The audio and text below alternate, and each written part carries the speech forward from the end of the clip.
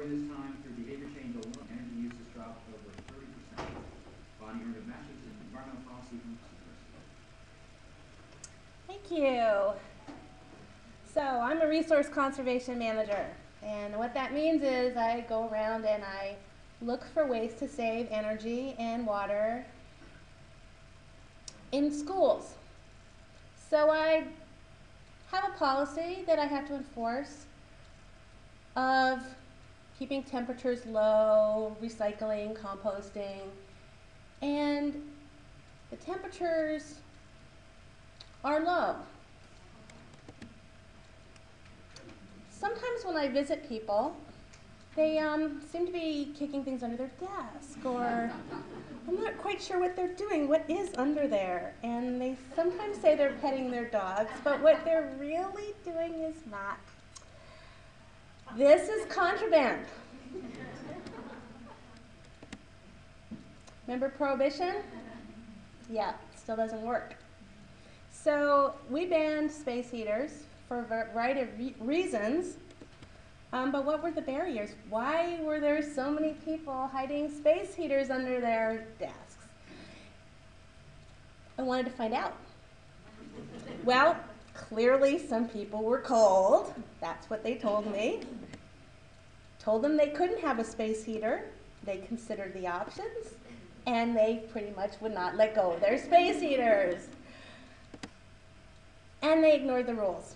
So we had these rules for a variety of different reasons. Those 1,500 uh, watt space heaters were blowing fuses. And we didn't have, we don't have really efficient schools. This is an example of a, an HVAC system that's not designed for offices. Um, so I did know that people were feeling cold.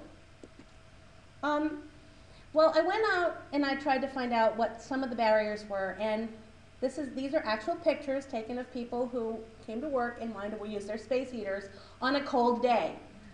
The first one says, "Well, I really like wearing these shoes because they make me taller and, and they look professional." Some people like to show off their tattoos. Others just like something that's very easy to slip on. Um, I'm trying to remind you, it's cold and it's wet outside. Okay? So I was thinking about these barriers, and there's so many of these barriers. We're talking about people buying things. We are bombarded with wonderful shoe opportunities. They're cute, but they're cold. So I also found out, looking under people's desks, this is an actual picture, that like Fred Rogers, people do come in wearing sensible shoes, but they take them off. Okay, well, that's going to keep them really warm. So I decided I'd better do something about this because these space heaters were not going away. Um, so we started a Keeping It Warm outreach program, and I did the calculations.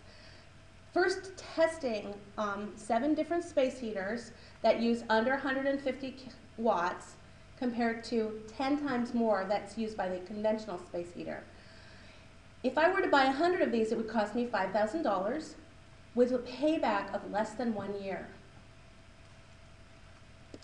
So I told everyone, okay, give me your old space heater, and I'll give you a new radiant heater, and I'll save a lot of energy. But there's a catch. They had to fill out a form pledging that they would try to save energy and that they would only use their space heater when it was colder than 68 degrees in classrooms and 70 degrees in offices. And I counted the before and after. Here's the good part. After, after distributing the space heaters, there were almost none left. Almost everyone was willing to either give up their space heater or accept the new ones. And here's a happy person using their new space heater, someone who was always cold, and now she doesn't feel cold anymore. But there were still a few left, and then there were new people coming on board in the school district. So I worked with the fire marshal and created this flyer. These are dangerous recalled space heaters. Actual images from the U.S. Consumer Product Safety Commission of recalled space heaters. If you look at these heaters, you will find anybody's heater. And that was the point. All of them need to go. And it's not my fault. It was up to the fire marshal. Well, exchanging space heaters was a really great project. People were really happy. And so they were a little bit more receptive when we had this uh, Fred Rogers put on a sweater project. Um, they were more receptive because we were nice to them. Also did a uh, light bulb exchange program. Um, and that's been really successful too. I only have found in the last year only two, two, two um, incandescents. Um, and here's the results with my happy face. over the over the last um, three years, we've dropped our energy use by a third, and that means textbooks and teachers, and that's a really good thing for the district.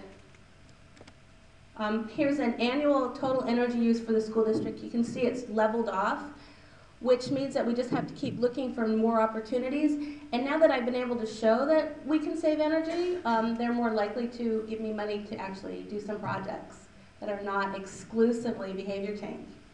Thank you.